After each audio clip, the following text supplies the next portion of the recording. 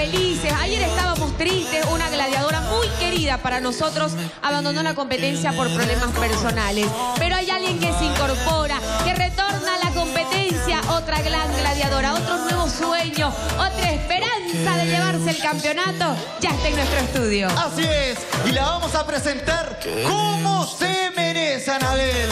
Señoras y señores, ingresa a esta temporada ultra de calle 7. ¿eh?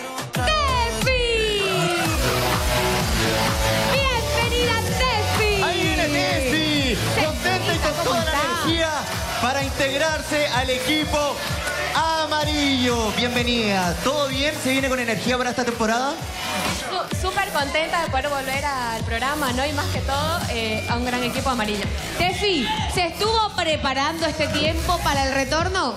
Sí, estuve preparadísima, entrenando y dando todo en competencia. Qué bueno, Tefi, ¿está lista para ingresar al equipo amarillo? ¿Qué le parecen sus compañeros?